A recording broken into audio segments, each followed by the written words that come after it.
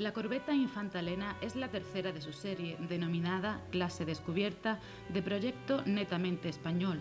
Construida en los astilleros que la empresa nacional Bazán tiene en Cartagena, fue votada el 14 de septiembre de 1976 y entregada a la Armada Española el 12 de abril de 1980. Su numeral es F-33 y su bandera de combate le fue entregada por Su Alteza Real la Infanta Elena el 10 de junio de 1983 en Alicante. El mando del buque lo ostenta el capitán de corbeta José Miguel Ochoa Franco. Nació en Melilla e ingresó en la Escuela Naval Militar en 1979, siendo promovido alférez de navío en 1984. En 1987 asciende a teniente de navío y en 1996 asciende a capitán de corbeta.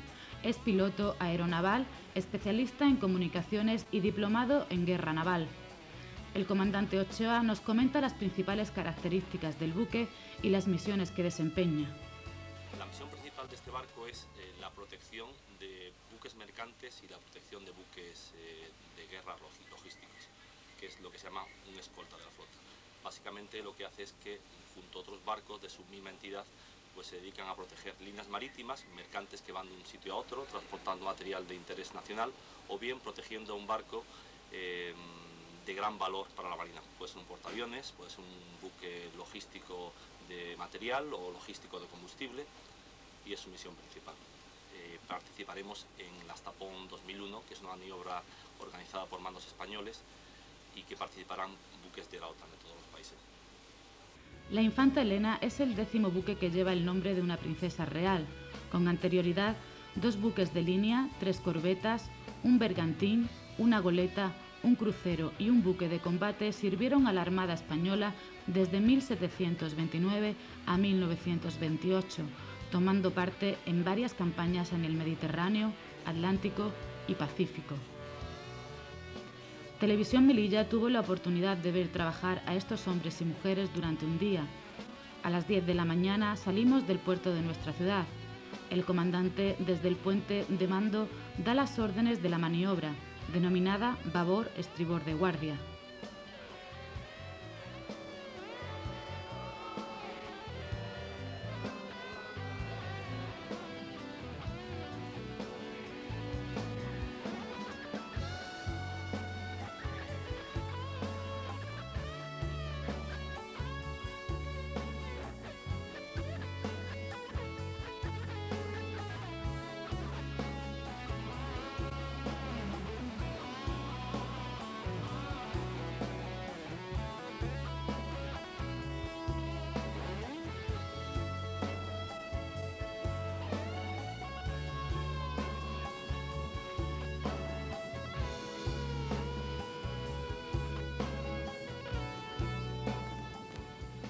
Desde el puente se controla todo el buque.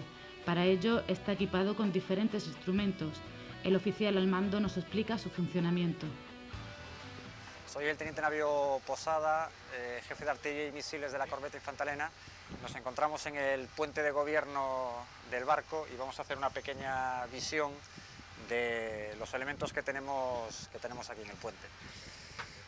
Pues eh, lo que tenemos aquí delante es la consola de propulsión. Desde aquí se hacen todas las... Eh, se controla lo que son las órdenes de embrague, parada, eh, arranque de motores principales, así como eh, subir y bajar revoluciones. Aquí, en esta consola, que está en el centro del barco, es la consola de gobierno. En esta consola de gobierno, el timonel recibiendo las órdenes del oficial de guardia, pues es el que mantiene el, rumbo eh, del barco. Como se puede apreciar, pues la, típica, la típica caña que es la que mueve los dos timones que, están, que están en, en la toldilla.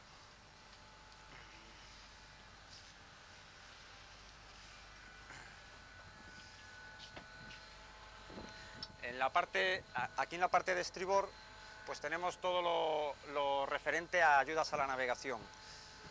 Un repetidor de un radar de superficie y un radar de navegación eh, cuya, cuya, misión pues es eh, ayudar a la situación, eh, obtener situaciones para presentarlos en la carta y también para puntear los contactos que, que aparecen esta pequeña mesa donde se encuentran las cartas náuticas es la mesa de derrota en la que se van plasmando todas las situaciones eh, eh, y es donde se, señala o se pinta la derrota del barco.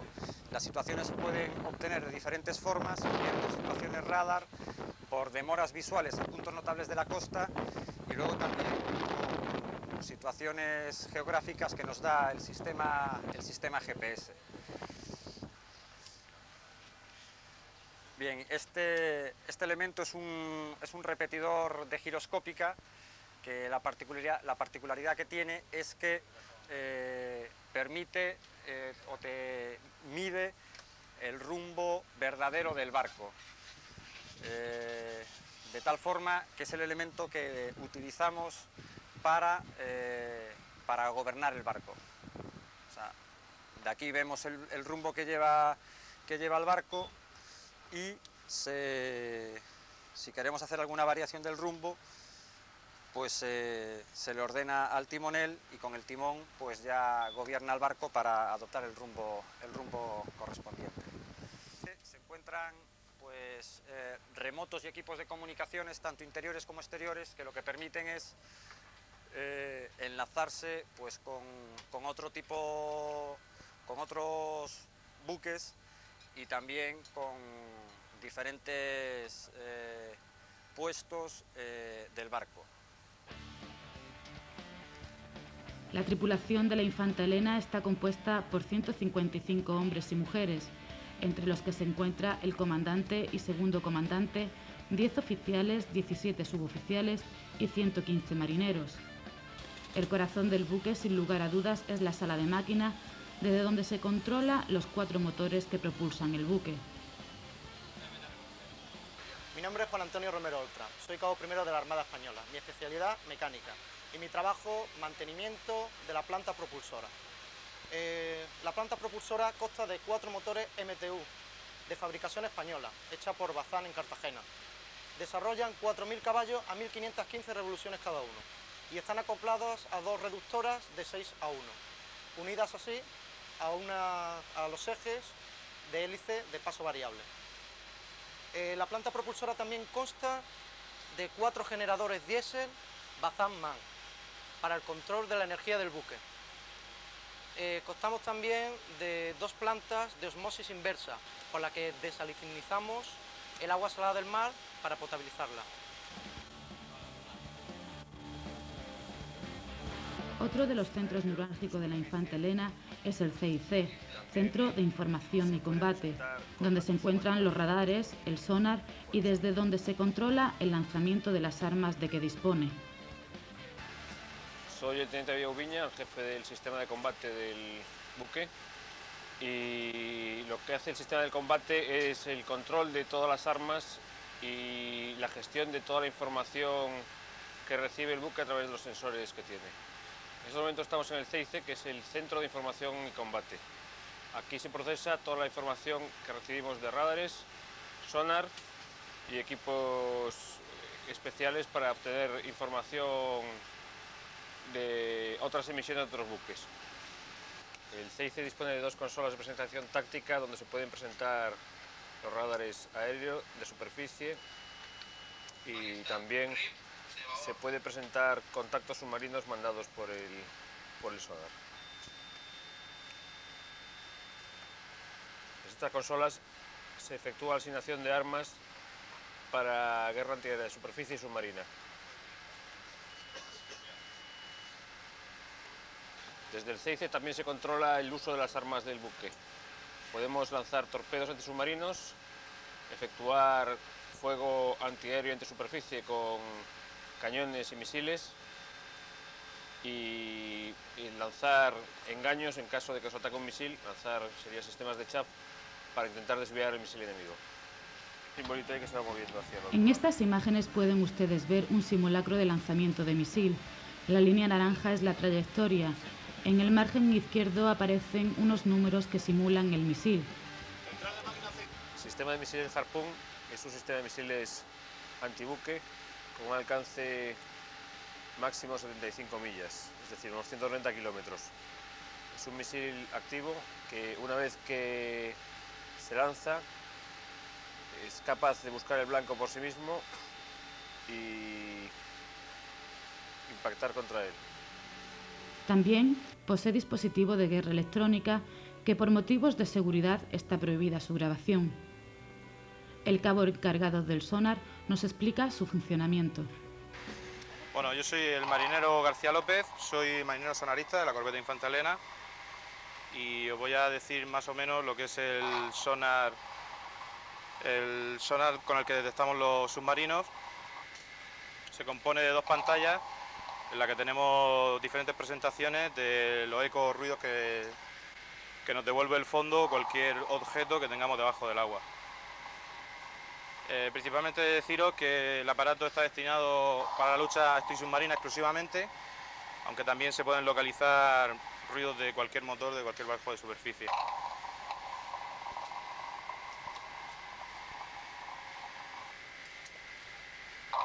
Y ya pues explicaros también, este equipo también se puede simplemente recibir los sonidos que nosotros mismos producimos o cualquier otro barco La vida en el mar es muy dura y sin lugar a dudas los hombres y mujeres que trabajan en este buque no lo hacen por gusto, sino por su gran afición y deseo de pertenecer a la Armada Española. Nosotros quisimos saber cuáles fueron los motivos que les impulsó a alistarse. Soy la cabo profesional Silvia, mi especialidad es sistemas tácticos y como especialidad mi destino es el CEICE, que mi función es estar en el radar y nada, el, los días que salimos a navegar, tipo tránsito, las navegaciones suelen ser muy relajadas y cuando tenemos maniobra pues la cosa ya es más, más trabajo, la gente no descansa tanto como en un tránsito, la relación entre compañeros es bastante buena, la gente eh, nos solemos conocer bastante bien, unos y otros, luego claro, luego según cómo estemos en las navegaciones pues solemos estar más, más tensos, menos tensos, pero la relación entre compañeros es, es, muy buena. Me gusta de siempre, desde pequeñita. Si yo no hubiese entrado en el ejército, hubiese sido una frustración en mi vida. Me gusta mucho. Eh, hice la mili y la vida militar me llamó mucho la atención. Por la forma de ser, el orden, el control, el saber exactamente lo que hay que hacer en cada momento. Y la vida del mar, pues me llamó la aventura, el conocer gente, no sé, sitios distintos, distintas culturas, todo eso me llama mucho la atención. Y viajar es una de mis grandes ilusiones. ¿Cómo es un día de trabajo en la? Un día de trabajo en la mar eh, resulta bastante duro, sobre todo para lo que son los mecánicos, porque nosotros tenemos que montar dentro de la sala de propulsión.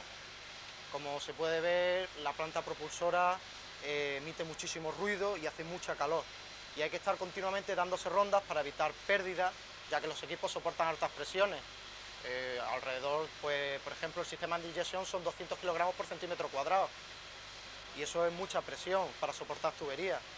De manera que tienes que estar continuamente dando rondas, eh, comprobando los niveles, que no falta agua, que no falta aceite, que el combustible está bien, eh, comprobando que el aceite sea el correcto, que no se haya emulsionado, y son seis horas así, normalmente viajamos a dos vigilancias, son en turnos de seis horas, seis horas dentro de la máquina y seis horas descansando y al cabo de varios días de navegación se hace muy muy duro.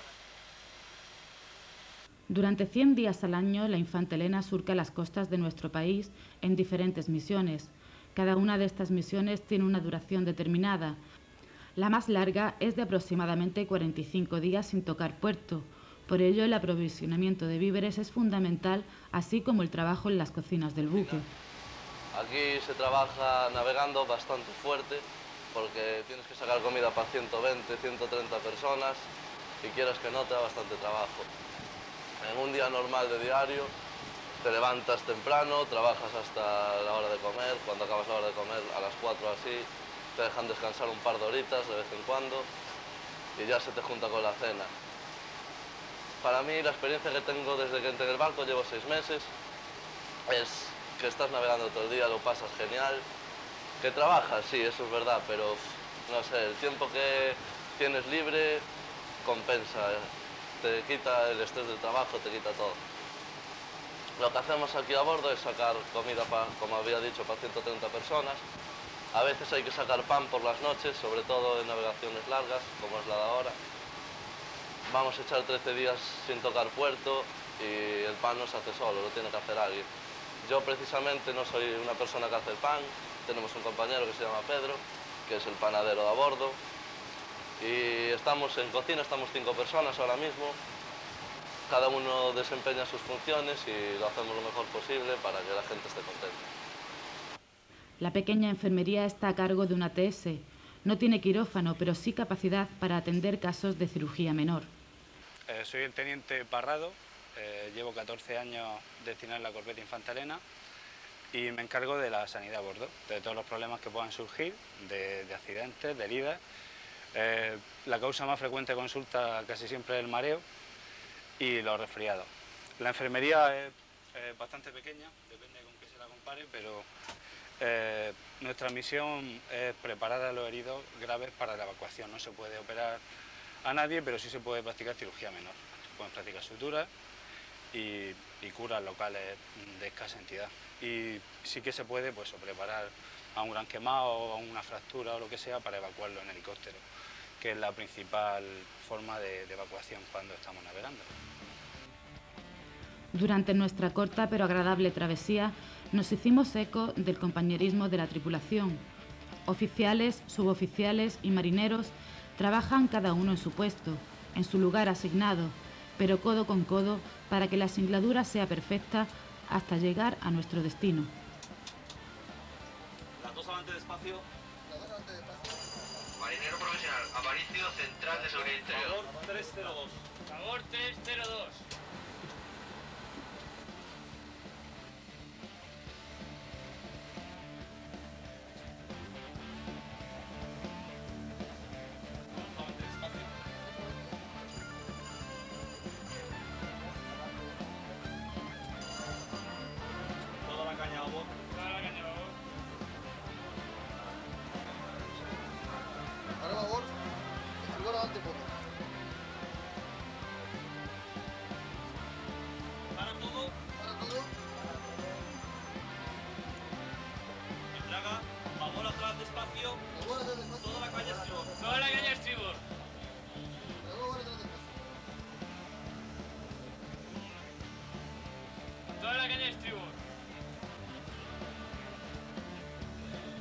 Desde su entrega a la Armada, este buque ha participado en varios ejercicios de la OTAN y, como dato a destacar, ha formado parte de la Fuerza Multinacional de Interceptación en el Mar Rojo, apoyando las operaciones de embargo contra Irak durante la Operación Tormenta del Desierto.